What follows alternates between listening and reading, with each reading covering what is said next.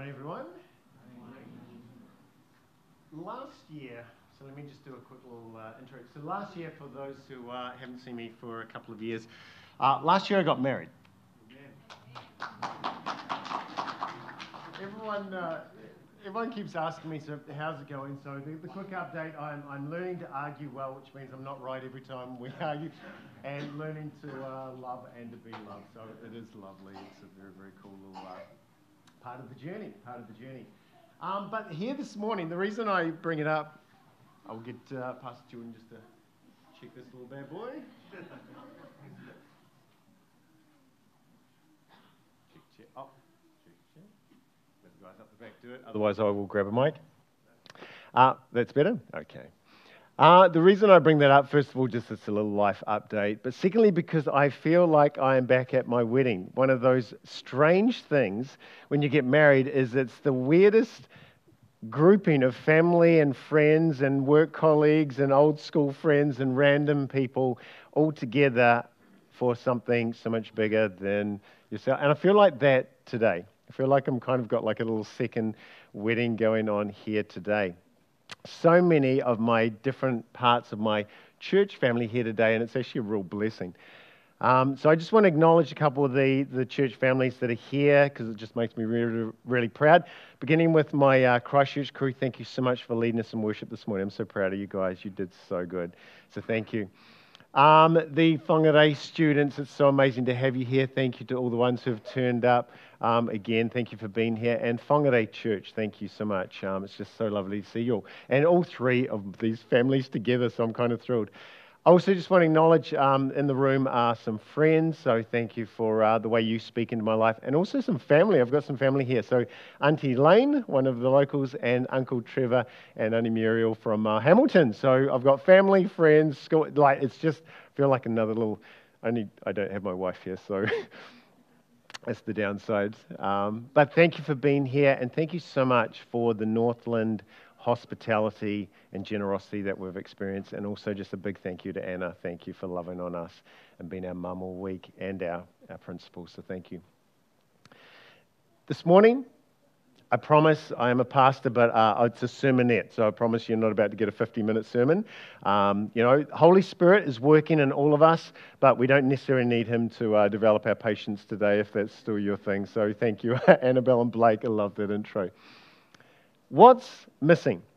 There's a very familiar church sign slogan, and I see it I often driving around the South Island now, but in the North Island, I particularly see it. You know, those churches with the sign out the front, and they'd put something up, and one of the common ones is this one CH dash dash CH, what's missing?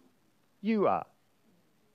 It's a neat little, a neat little visual gag that kind of takes the you are at a church and says that's what's missing. It's a church saying, hey, what's missing in our congregation and in this our place is you. Would love to invite you in. Nice way to do it, and I really like it. But the last time I saw it, and it was down uh, as I was driving around Wellington, I saw a church with this, and it clicked. I'm like, well, it implies that church is a building, a place, and a program. And so what's missing is a physical person on a seat. But our understanding of church is church is not this building, church is not this program, Church is us. We are church. And so, if we were to apply that question to ourselves this morning, what's missing from or in us? Because we are church. What's missing? One of the uh, amazing things about us as humans is we're we're pretty perceptive, and yet often we can't see the gaps in our own lives. Have you ever been talking to someone and you're referring to someone else and you simply go, Yeah, but we know what they're like? Everyone nods. Because they know what that other person's like. You just have to go, But we know what they're like, and everyone knows exactly what you mean. And yet the irony is, if you ask that other person, they probably would be quite surprised to know that everyone knows them by this deficiency or this little trait or this little quirk. We can often be quite blind at what's actually missing in our own lives and our own walks. A little sidestep. Go on with me with this little uh, sidestep. We live in a superhero era. And I'm going to go on the one that's probably come to mind, but I'm going to land somewhere more profound that uh, fleshes out our what's missing this morning. Number one, it's very, very obvious. You, you look at any movie, you look at any TV program at the moment, we live in a superhero era. There's never been a period of modern entertainment when superheroes absolutely rule the roost. Uh, we are in, in many ways, a superhero era. We love our stories of superheroes with superpowers who rescue and save people. We love it. We just, these are exciting stories that unlock something in us as humans. That desire to see people rescued, the desire to see that big battle of good and evil fought out in an amazing way. And our superhero stories do that. We live in a superhero era. But there are some amazing lessons that, first of all, superheroes teach us. These stories teach us. Number one, a superhero with no powers is just a normal human being. A superhero has to have special powers to be a superhero. Somebody who just rescues and saves people with no powers is just a hero. To be a superhero, you've got to have something in addition. There's got to be some extra power to what you do. Secondly, we find out that a superhero who has powers needs to know what their powers are and has to choose to use them. There are no super lazy boys. There are no super just can't be bothered girls. They are not superheroes. We don't know about them because they're still on the couch. A superhero has to choose to use their powers to be a superhero. And they have to choose to use it for good. They choose to use it in another way, they're a super villain. Knowing power, choosing to use it, and choosing to use it for good. That's the heart of our superhero stories. The other thing we find out, it doesn't matter what superhero you are, when you work together as a team, you're always more effective. It doesn't matter if you're Superman, if you suddenly add some other superheroes around, that team is so much more effective than a superhero just by themselves. This week, we've been looking at uh, differences, celebrating the unique way that God's created each one of us, celebrating our own differences, and also celebrating each other's differences. And when we do that, that's part of the value and respect and love that God shows us. And when we step into that, we have the heart of God, loving one another, working with one another. And that's what we've been talking about this week, and it's been good. To look at that this morning, um, Daniel, where are you? Come on down. I've got a couple of questions. I was talking to Daniel uh, this week and uh, mentioning a little bit around superheroes, and uh, I love what he shared with me, and so I've asked him to come down and share this morning. So I'm going to begin because I was fascinated, Daniel. I love you are a unique creation of God, and I love the way that He's made you. And you were sharing that you even um, sort of some supervillains even stand out for you. And there's one supervillain that stands out for you. Who's that? Deathstroke. Excellent. So we don't normally look at supervillains, but I love that you do. And again, I love the way that you engage with these stories in a unique way. What makes Deathstroke stand out for you from all the other supervillains? The way he uses technology to fight instead of hands on. Okay. And when you look over at the other side, so who, um, don't get distracted by the other students. Um, if you're looking at the other side, who, you know, he may be fighting, so looking at superheroes, who's a superhero that stands out for you? Batman. Batman. I see a few nods. Uh, always a good uh, common superhero. But why does Batman stand out for you? What do you like about Batman? Because he doesn't have a superpower, but he still manages to win fights. Yeah. How does he do that? What's he got that he's using that's? His brains. Yeah. Now, something that I love that you uh, were sharing with me is he also got something passed down from his parents when his parents passed away. Um, there was something that they passed on to him. What was that? A lot of money and good designs. Yeah, and he's made use of that. Awesome. Thank you, Daniel.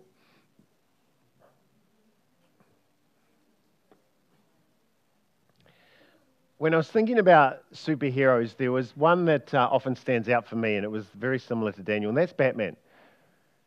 Batman's very, very cool, but he doesn't have an inherent power. But what he has is a legacy passed on from his parents, particularly his dad wealth, technology, and a legacy to use it for good. And that gets passed down to him. And every day he has to choose to use it for good. And what I love about Batman is he struggles. He's known as the Dark Knight because he sometimes struggles to use this legacy of what's been passed down to him that makes him a superhero, struggles to use it for good. But we know he's a superhero because he always makes the choice to use it, even though he struggles with that. And I don't know about you, but sometimes, and I think some of you are already starting to see the parallels, we have a father who has passed down to each one of us a whole lot of special things and a legacy to use it for good. And I don't know about you, but sometimes I feel like Batman and I struggle with that legacy that our Heavenly Father's passed down to us. Every day to use His tools, His power for good. But I want to be like Batman. I want to, at the end of the day, always choose to use everything God's given me and invited me to be a part of for His work. To be a superhero and not a super villain. Because we live in a superhero era. And the reality is, it's not these stories that we celebrate. The reality is, we live in a superhero era because Jesus Christ came, lived, died on the cross, and was resurrected. And when he did that, he showed that there is only one true superhero. We may love the stories from DC and Marvel about these superheroes, but they're fictional. We know that. We see them on the page, we see them on the screen, but their power cannot touch us. We love the story, and they can inspire us, but they can't do any more than that. There is only one true superhero whose power is so much more infinite than any of our favorite superheroes Jesus Christ. And when he died on the cross and was resurrected, he broke every single thing, every kind of evil there is. He broke it, he conquered it. There is only one true superhero. And we live in a superhero era because when he was resurrected, he said, Now here's the plan. My power is available to you. No other superhero takes their power and gives it away. They use their power to do good, but no other superhero gives their power away. Jesus does. Through the work of the Holy Spirit in each one of us, he says, The power that is mine is now yours. What are you going to do with it? We live in a superhero era where the superheroes are you and I. And the challenge is this do we know that we have power? Because if we don't, we're just a normal human being. Have we made a choice to use the power that God has for us? Because if we don't, we're just super lazy boy or super can't be bothered girl sitting on the couch. And do we choose to use that power for good? Or are we actually super villains? The Bible paints these incredible pictures where some take the tools of God and use it for themselves or against God, and they become our supervillains. The choice is ours. But we live in a superhero era. All because there is one true superhero. There's an incredible story from 1954. There was this uh, gentleman here. His name was Francis Henning. And uh, he was a criminal, and so that's how he wanted. He wasn't a supervillain and by any means, and you'll see why when I explain uh, the story. But he was trying to be a supervillain, but uh, not, not very effective.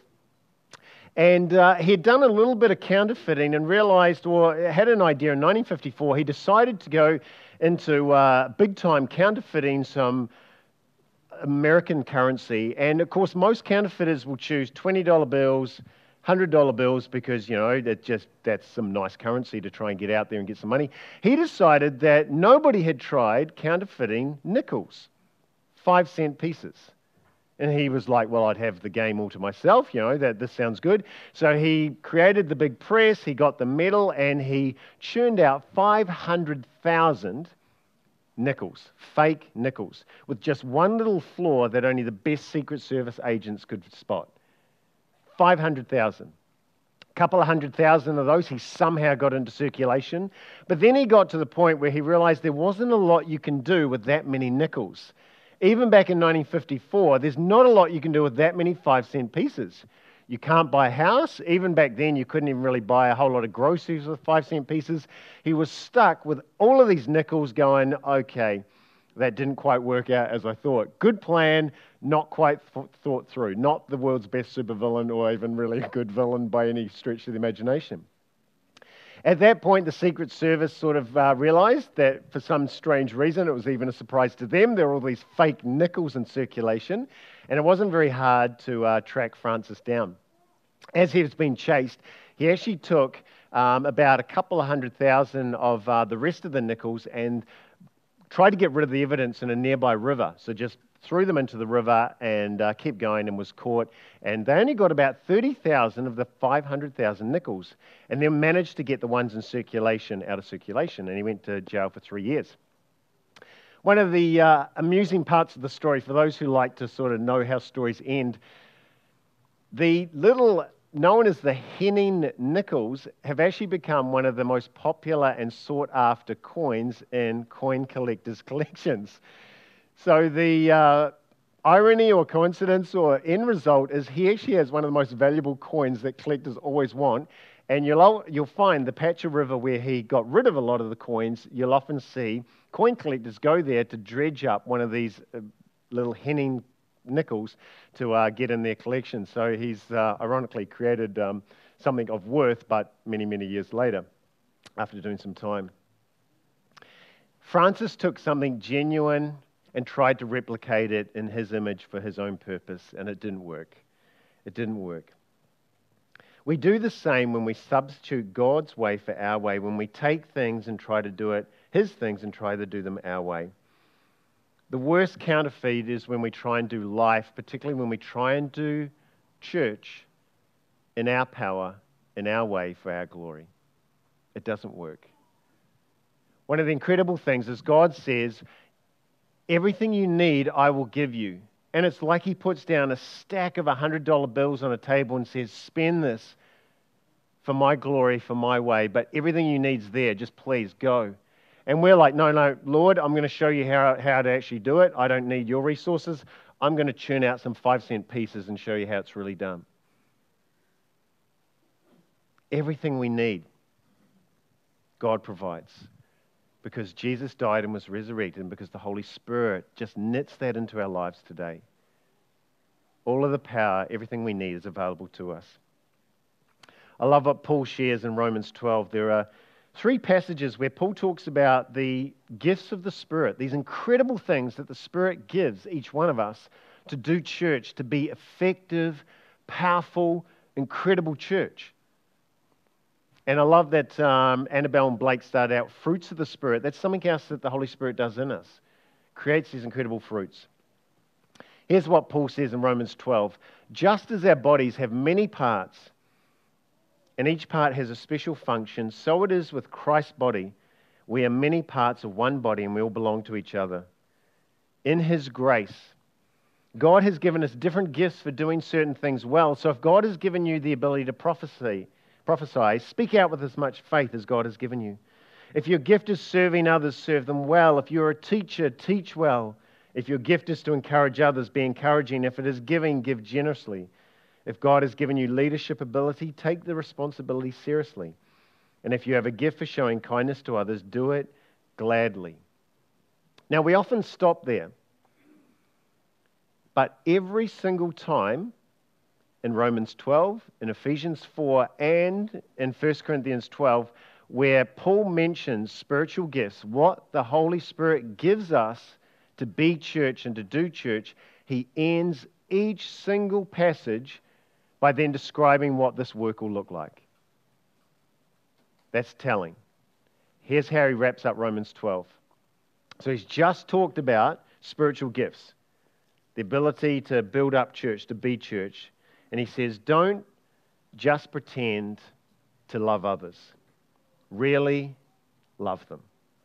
Hate what is wrong, hold tightly to what is good, love each other with genuine affection, and take delight in honoring each other.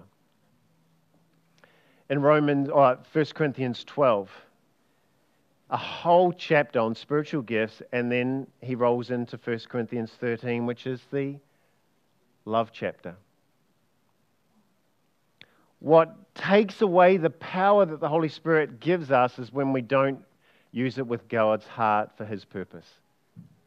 God doesn't want us to become supervillains, to use the power that he gives us to become supervillains. And what makes a supervillain is someone who does not have a heart for others.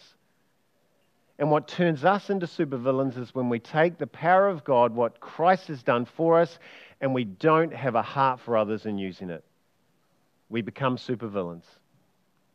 And Paul, every single time he mentions spiritual gifts, always lands on going, but you've got to make sure that love, that the heart behind you using what the Holy Spirit does in you and through you is love. Every time.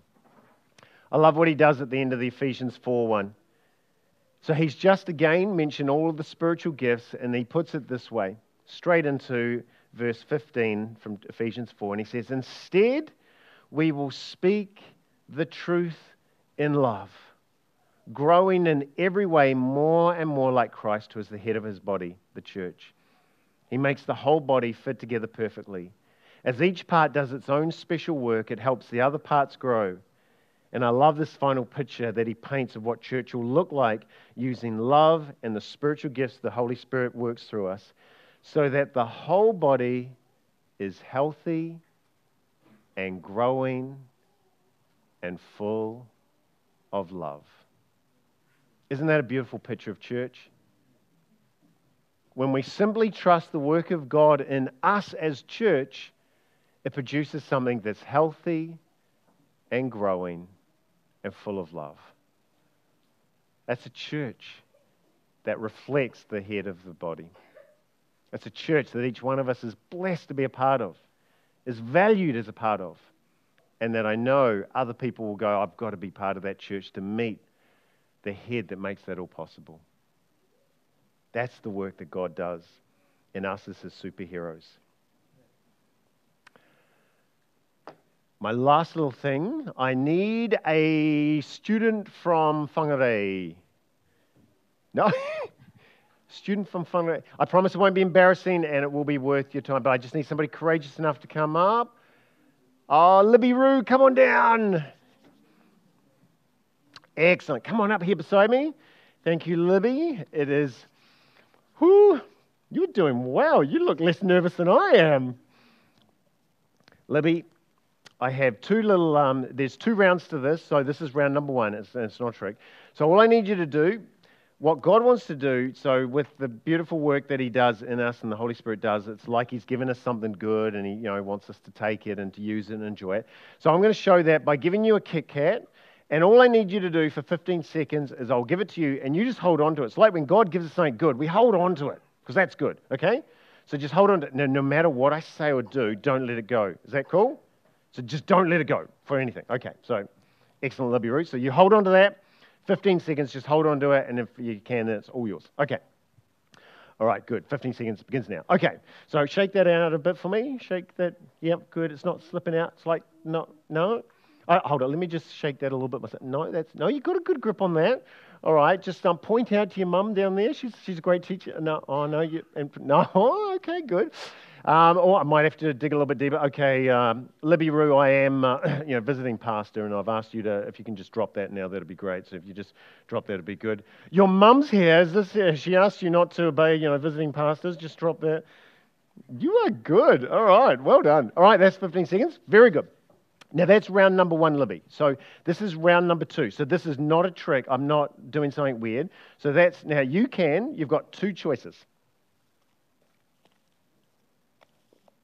You have in your hand one Kit Kat, and that's good. That is all yours.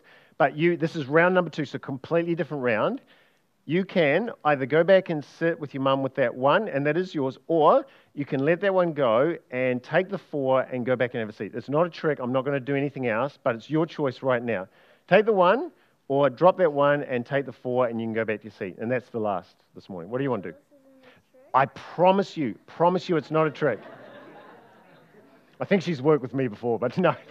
Okay, totally your choice, and I promise you, promise you, promise you, it's not a trick. Well done. Good choice. Hey. Livy, you did really good. It's amazing. I, I often use that illustration, and over half the time I do it, the person, the young person goes back with just the one. And I'm just like, but but there's four. And they're just like, no, I'm, I'm happy with the one. We do the same with the gifts of God. The Bible tells us that every morning His mercies, His goodness, His power, His presence, His love for us is fresh, it's available. And so many of us are holding on to the blessings and the power of yesterday when God says, let that go. You should have already consumed that and shared that. Now, today, expectantly reach out and I will provide. I will provide. We are God's superheroes, called to simply trust His work and His goodness and to share it and then to keep reaching a hand out and going, God, I know you've got something else that will bless me and bless others. Replenish me, refill me, Lord, and keep me going. Don't hold on to the blessings in His work of yesterday. He's got something incredible for us today. We are church. Christ has died, it's all conquered. We know the end. Trust his work in you. Be the superhero he calls you to be, and be blessed as that makes an impact in your family, in your school, in your community. Be the superhero God's called you to be.